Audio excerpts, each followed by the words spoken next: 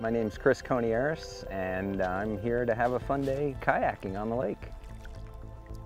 I'm thrilled. Uh, the one thing we don't have in Tucson is water. So water sports, you often have to travel, and to have something less than 90 minutes away from Tucson uh, makes it very accessible. This is our first trip to the lake, and we'd heard about it from a few friends. You know, they said if you need water in Arizona, that this is the place to come. So it's pretty close to Sierra Vista, so it was an easy drive for us today. I love it. I'm actually really surprised. The pictures online don't do this place justice. It's very pretty. The slope from the hill down to the lake makes it very easy for us to sit up here as parents and you know enjoy the shade while kids can go crazy in the water and it feels very safe. You know, they're not too far. I've got a good view of everything around me, good view of the beach. It's very well set up.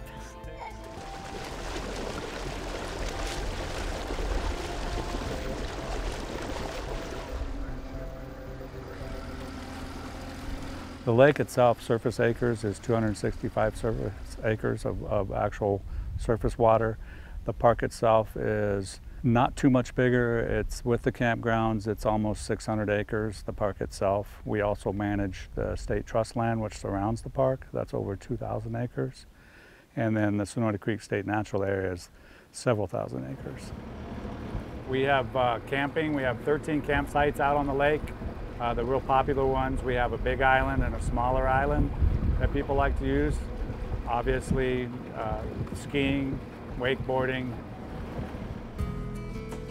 We have several different uh, species of fish. We have largemouth bass, we have channel cat and flathead cat.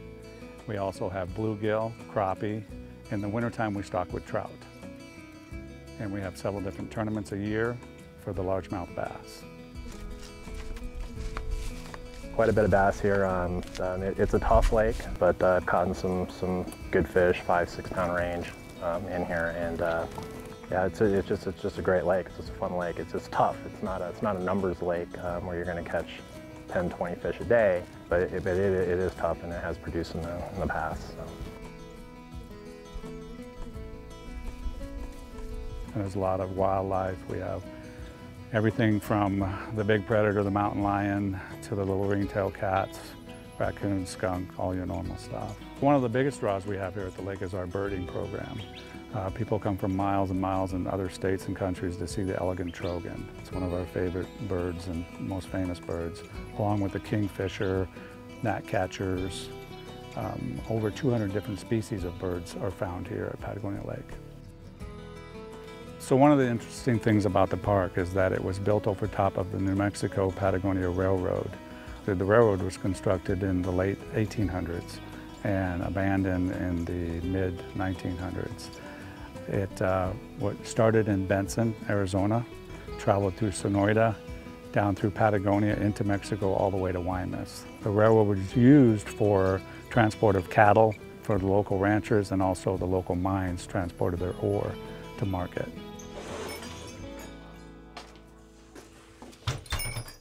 I'm a Bob Ruggiero and my family's had the ranch about 100 years and I've lived here about 40 years full time now.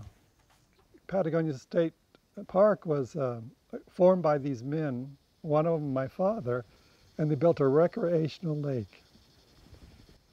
These are the documents to get the loan. They had to uh, prove that the people in the area wanted to do this.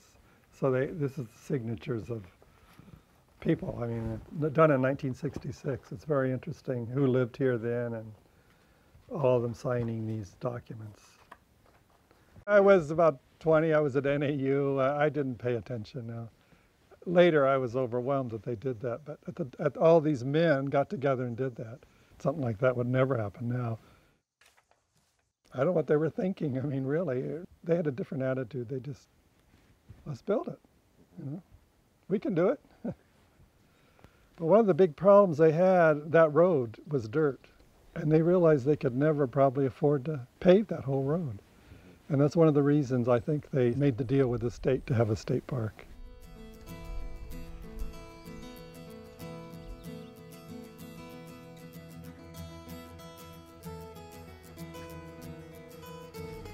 I got this little boat a few months ago, and um, it's just it's quiet, you know, and it's relaxing, and uh, you know, it's close to Tucson, it's not that far away and it's, and it's definitely a totally different climate. It's usually a little bit cooler. It's fun, place to escape for a while and feel like you're maybe not in a desert.